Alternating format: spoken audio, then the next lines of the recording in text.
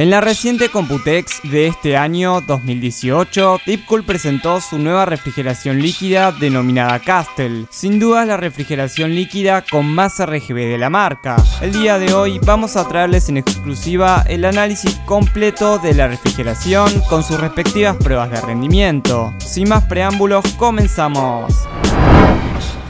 Empezamos desempaquetando la refrigeración líquida, la cual posee todos sus componentes ordenados de una forma bastante prolija. En las cajas pequeñas que observamos nos vamos a encontrar con el manual, que dicho sea de paso les recomendamos que lo lean, ya que en él van a encontrar las instrucciones para instalar la refrigeración líquida. De igual forma si ya instalaron alguna, déjenme decirles que es más de lo mismo, y la forma de instalarla es bastante similar. También nos vamos a encontrar con todos los anclajes necesarios para instalar la refrigeración líquida, destacando nuevamente la prolijidad con la cual vienen organizados. Algo que me llamó muchísimo la atención y que lógicamente he de destacar es que en el caso de AMD soporta un TDP de 250 watts, lo cual lo hace compatible con procesadores Threadripper 2. En el caso de Intel soporta un TDP de 165 watts, siendo compatible con procesadores i9. En líneas generales, en cuanto a compatibilidad, no vamos a tener problemas con ningún procesador, ya que soporta toda la gama de Intel y AMD.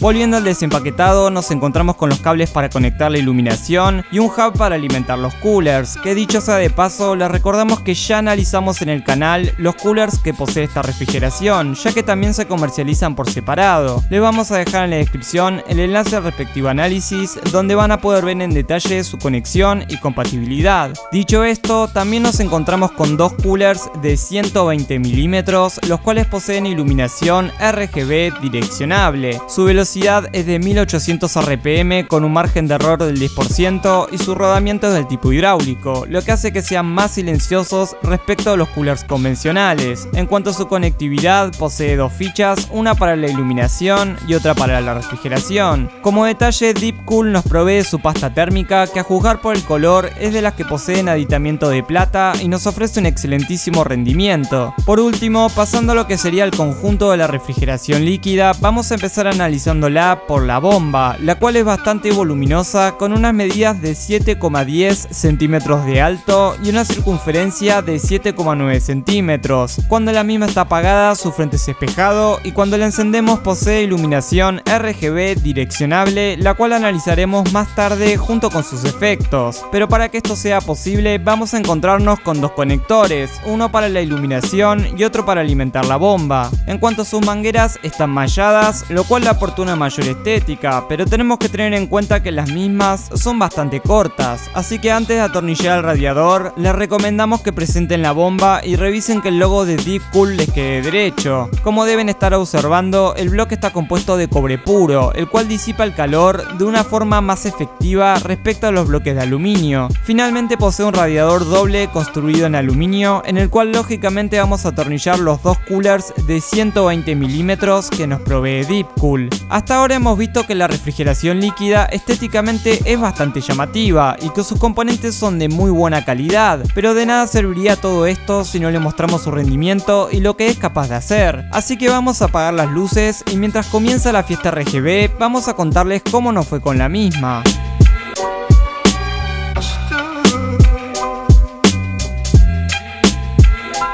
Comenzando con las pruebas de rendimiento, instalamos en nuestra PC un Intel i5 8400 con el cooler de stock. Lógicamente las frecuencias también eran las de stock y para estresarlo utilizamos el software Prime 95. En ambos casos, tanto el cooler de stock como en la refrigeración líquida, usamos la pasta térmica de Deepcool que venía con la refrigeración. Con la PC en reposo conseguimos temperaturas de entre 28 y 30 grados y estresándolo con una carga del 100% conseguimos temperaturas de entre 59 a 62 grados. Con la refrigeración líquida instalada en reposo conseguimos las mismas temperaturas, pero estresándolo con una carga del 100% conseguimos temperaturas de entre 47 a 50 grados, reduciendo aproximadamente 10 grados de temperatura. No conformes con esto, instalamos nuestro procesador Intel i7 8086K y con frecuencias de stock estando en reposo conseguimos temperaturas de entre 25 a 28 grados. Estresándolo con una carga del 100%, conseguimos temperaturas de entre 67 a 70 grados, lo cual no está nada mal teniendo en cuenta que el procesador Intel i7 8086K posee frecuencias de stock más altas respecto al 8700K. La última prueba que le realizamos fue recloquear el procesador i7 8086K a 5 GHz, obteniendo temperaturas de entre 28 a 30 grados estando en reposo y cargándolo al 100% conseguimos temperaturas de entre 88 a 90 grados, que teniendo en cuenta que estamos llevando el procesador a su frecuencia límite y lo estamos cargando al 100%, el resultante termina siendo bastante bueno. En conclusión, es un producto sumamente recomendable tanto por su rendimiento como por su estética y calidad de materiales. Y no queríamos despedirnos sin dejarles por pantalla los efectos de iluminación, teniendo en cuenta que posee el mismo sistema que ya habíamos analizado en los coolers RF120 y CF120, es decir, es compatible con las tecnologías de sincronización de la iluminación, tales como RGB Fusion, AuraSync, Polychrome y Mystic Light, y al igual que los coolers mencionados anteriormente, si no poseemos alguna de estas tecnologías, vamos a poder hacer uso de la iluminación con el controlador que nos provee Deepcool. Hasta acá el video, si les gustó no olviden compartirlo, darle like y suscribirse. Les dejamos un saludo y hasta un próximo video.